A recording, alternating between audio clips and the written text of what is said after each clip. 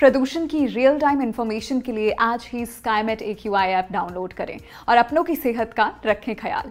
नमस्कार स्काईमेट वेदर में आपका स्वागत है। मैं हूँ महेश पलावत। यह है देश भर का मौसम पूर्वानुमान, यानी नेशनल रेडियो इसमें पहले देखेंगे हम वेदर सिस्टम क्या बने हुए हैं। एक साइक्लोनिक सर्कुलेशन उत्तराखंड के ऊपर है, ये कल के लिए है, यानी 16 तारीख के लिए 17 तारीख के लिए है।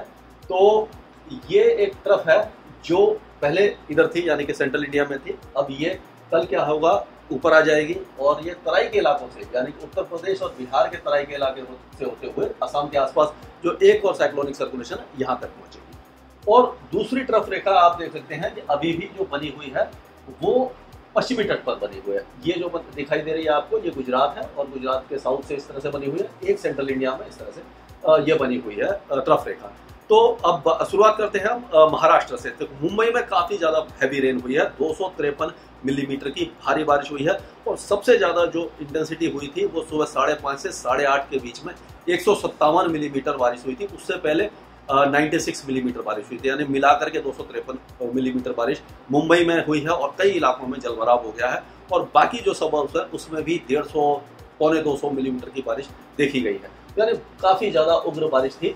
तो कारण यह था, एक तो ये ट्रफ रेखा थी और यहाँ पर भी एक साइक्लोनिक सर्कुलेशन था मराठवाड़ा के ऊपर। तो इन सारे जो वेदर सिस्टम थे, एक ईस्ट शेयर जोन इस तरह से जा रही थी, यानी कि 19 डिग्री लैटिट्यूड से इन सारे जो वेदर पैरामीटर से उनके कारण मानसून सर्ज एक्टिव रही और मुंबई में भारी बारिश हुई। आज भी ऑन एंड ऑफ़ बारिश होती रहेगी मुंबई में अगले 24 घंटों तक। उसके बाद कमी आएगी, लेकिन मुंबई और उसके आसपास का मौसम पूरी तरह शुष्क नहीं रहेगा।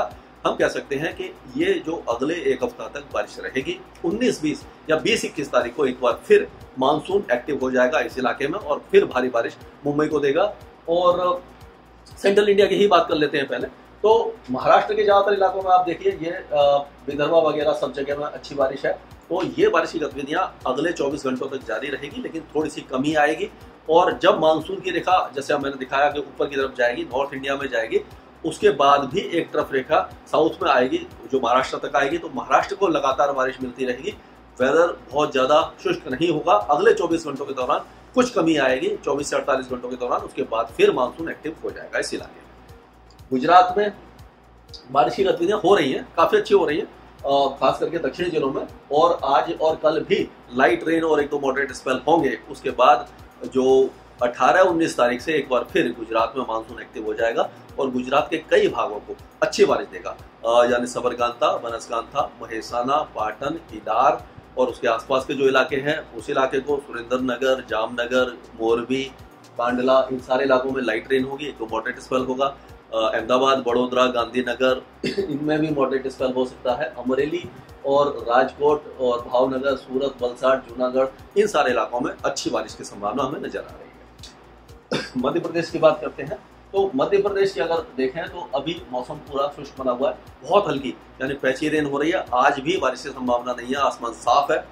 कल से ये जब तरफ़ थोड़ी सी ऊपर आएगी तो मध्य प्रदेश में हल्की से मध्यम बारिश कुछ इलाकों में शुरू हो जाएगी और 18 तारीख से एक तरफ़ रेखा इस तरह से जब नीचे आएगी तो पूरे मध्य प्रदेश में, यानी कि सीधी सतना, उमरिया, दमोह, जबलपुर, कटनी, मांडला अनूपुर इन सारे इलाकों से होते हुए आगे बढ़ेगी।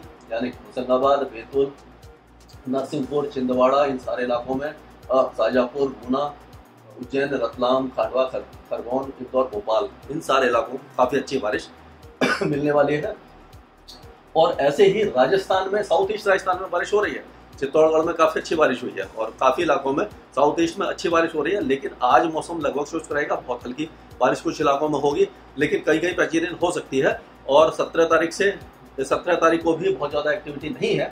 अठारह, उन्नीस तारीख से पूरे राजस्थान में एक बार फिर बारिश की गतिविधियाँ बढ़ने वाली हैं और मूसलाधार बारिश कई इलाकों को देख, देखने को मिलेगी। यानी पूरे राजस्थान में जो बारिश की कमी है, काफ़ी हद तक पूरी हो जाएगी। और 18 तारीख के आसपास ही, यानी 17 तारीख से ही वैसे तो अगर उत्तर भारत की बात करें तो मध्य प्रदेश की ये जो तराई के इलाके में ट्रफ रेखा है तो उत्तरी जो बिहार है, इस इलाके में जैसे कि आपने देखा कि सीतामढ़ी हो गया और चंपारण सुपौल, किशनगंज, अररिया, ये सारे इलाकों में अच्छी बारिश होगी। उसके बाद गया, नवादा, पटना, भागलपुर, पूर्णिया खगड़िया, कटिहार, इन सारे इलाकों में बारिश की गतिविधियाँ बढ़ जाएँगी। उसी तरह झारखंड में भी खुंटी, रांची, जमशेदपुर चायवासा और लोहार लागा, ये सारे इलाकों में धनबाद वगैरह में अच्छी बारिश होगी।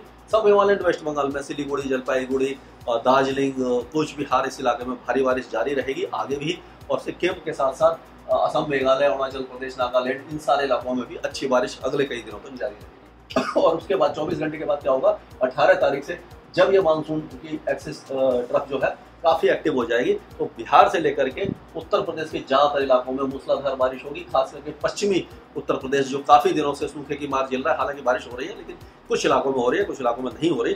तो उस इलाके में, यानी कि बरेली, मुरादाबाद, रामपुर, शाहजहांपुर और हरदोई, कानपुर, लखनऊ, कन्नौज और ये क्या कहते हैं उसके बाद एटा, मैनपुरी, आगरा, अलीगढ़, मथुरा, हाथरस, इन सारे इलाकों को अच्छी बारिश देखने को मिलेगी, मेरठ, मुजफ्फरनगर को भी। और उसी समय दिल्ली, एनसीआर के साथ साथ पंजाब और हरियाणा में 18 तारीख से बारिश की गतिविधियाँ बढ़ेंगी। 18 तारीख से ही राजस्थान के ज़्यादातर इलाकों में अच्छी बारिश होगी, यानी कि पूरे उत्तर भारत और मध्य भारत में मानसून रिवाइव होने वाला है। अब बात करते हैं दक्षिण भारत की। तो दक्षिण भारत में आपने देखा है कि जो दक्षिणी तट है यानी कि जो केरल है, कर्नाटका है, इस इलाके में बहुत अच्छी बारिश लगातार जारी है। और ये देखिए, ये जो ट्रफ रेखा बनी हुई है, केरल तक बनी हुई है तो अभी तटीय कर्नाटका में बहुत अच्छी बारिश होगी। और दो दिनों के बाद 18-19 तारीख से जो गोवा है, उसके आसपास एक साइक्लोनिक सर्कुलेशन बनेगा।